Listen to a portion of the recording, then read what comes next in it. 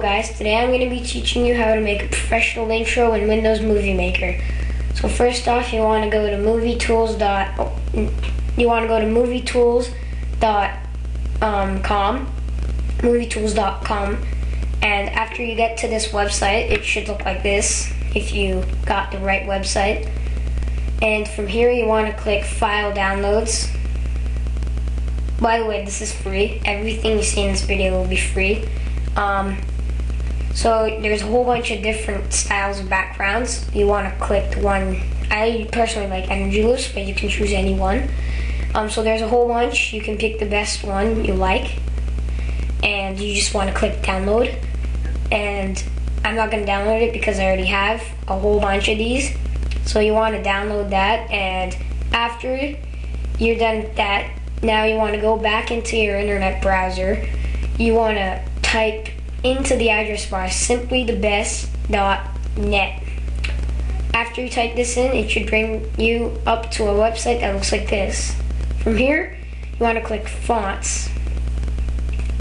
And after this, um, there's a whole bunch of fonts around here 3D stuff and TV show fonts.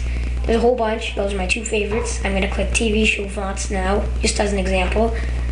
You want to click any one you like. I'm just going to use the first one just for an example. There's a download for PC right there, and there's a download for MacBook. I have a personal computer, so I'm going to click the top one. If you guys have a Mac, click the bottom one. If you guys have a PC, click the top one. Pretty simple. After you download that, um, you want to go to My Computer, uh, um, your hard drive, Windows, and then click Fonts Windows should bring you up to a file like this, and you want to click fonts from here, which I already did, and it's just loading up. There's a there, so this is all the fonts you have to make your intro. There's a lot of fonts in here. Now you're gonna need WinRAR. The text you downloaded from Simply the Best, if you had WinRAR, it should have came up with WinRAR kind of book thing, whatever you want to call it. But you're gonna need WinRAR and you want to extract this by just um, getting that and uh, you know just dragging it onto your desktop. So drag the one that says the name of your file and like a picture and it should come up to that with a little T. And you want to make the files fonts file smaller and just drag the one you extracted over to it. And you're done with that. So now you have your text. And you're done with your internet browser. You can exit out of it. Now, all you need to do is open Windows Movie Maker, import video, and now all now what you want to do is choose the background you downloaded. It should be in your download, like find the place you saved it under, and um, you can get the file you actually downloaded, put it onto this, and yeah, yours should load really fast. It's just my computer sucks and plus I have um, what is it? Hypercam on it so it's going really slow right now for some reason I have no idea. My other videos won't be like this. You can rely on that. It's just this be one time of my life where it's going so slow and I can't do anything but yours will go really fast. So let's just wait for this to open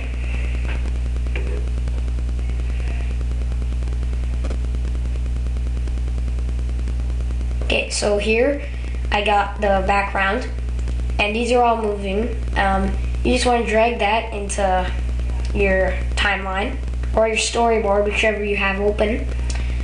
Um, all the links will be in the description, just making that announcement right now. All the links will be in the description, every link. Um, you want to click um, add titles or credits, and you just want to click that little video thing and click make a title on the selected clip. Click that and it should come up to a thing like this and you can write you can write the name of your channel or whatever you're making an intro of so I'm just gonna write the name of the channel I'm making this intro this video for um, so it's AM Electronics, and I'm writing it down. So you write the thing you actually want the intro to say, and it'll say it. Next, you press um, text, color, and font. You want to find the font that you put into the fonts folder. So after you find it, I'm just going to use a random one, but I'm not going to click the one I actually put in. I'm using Comic Sans, but I didn't even put that in, it's just already there. I'm just going to use a random one. And you can get the color you like. There's a lot of colors. You can even make your own color to find the right color you want like what I'm doing here. Yours will be a lot better than mine, okay? My, this is just, just, uh, just showing you how to do this. That yours will be a lot better than mine. I'm just showing you guys. You want, um, yeah. So, yeah, I, I always like my intros big, like the font. So you, you probably want to make it big. Next, the transparency. Probably know what that is. If you don't know what it is, it's when you can see the background through your layers. So you don't want to put that a lot because if you put it 100%, you can't even see your letters. It's like invisible. Um, I'd say from two to eight is probably the best. I I think I'm gonna go with because you kind of want to see it. It it it'll look more professional, but gonna need just the right amount so it looks good. Um, so I'm probably gonna make mine two right now, or two, four, yeah, two. Next, uh, wanna click title animation. You can choose any one you like. There's really cool ones. If you saw my intro in the beginning, it's like paint drip. It's really cool. I'm just gonna pick a random one just as an example to show you guys what it looks like. After you do this, um, you're gonna press, yeah, you, you can press then add title to movie, but I just messed something up. I have to make my font smaller because it looks really bad. Make sure it's only on one line. If it's two, on two lines, it looks bad.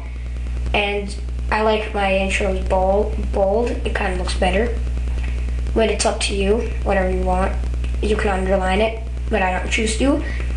Now click done, add title to movie. Um, now you just want to drag the title a little so it's just as long as your clip. And this is my intro right there. Just a sample. This isn't my real intro. Yours will be a lot better than mine. So here's my, that, just the one I made like right now. Paused it just because I have to show you guys the rest. After you do that, it looks kind of plain, so you need some music. Click um, import audio or music. Now you're gonna need LimeWire.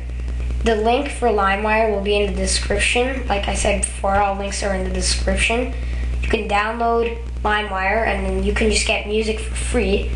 So you you basically should get LimeWire because there's you can just download any song you want.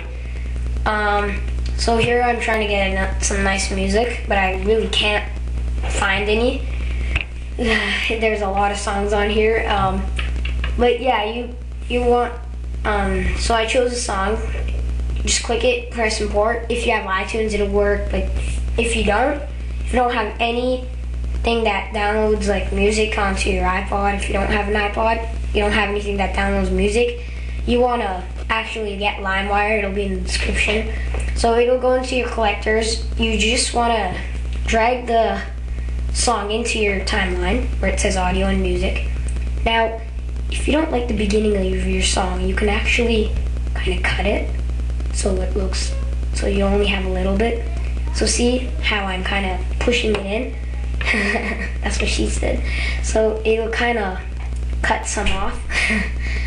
um, cut like the beginning of your song off or all you want is the ending. But yeah, you what you want to do now, I just want the middle of the song because I hate the beginning and the end. So if you want that or if you just want the song from the beginning, just don't do anything. But you're gonna have to do this. You're gonna grab the end of the song and drag it all the way back to the end of your video. And that's it, basically. And all you have to do now is, I don't know, you're basically done now. All you're gonna have to do is just make it widescreen so it looks professional and there's no black bars. Um, yeah. You wanna save it to your computer. Uh, press save to my computer, um, change the name of it, and change the place you want to save to. remember this is an, this is important. If you don't do this, you can't put it on YouTube. You have to save to your computer. So uh, you can do that, but just an important note: press Tools, um, Options.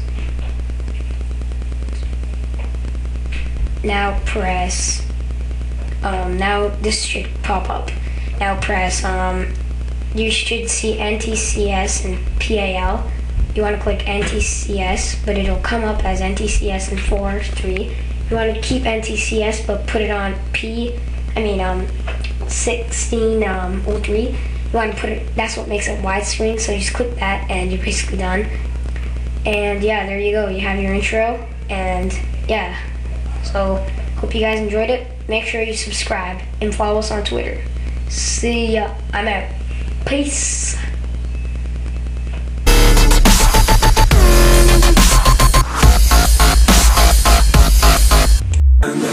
kicks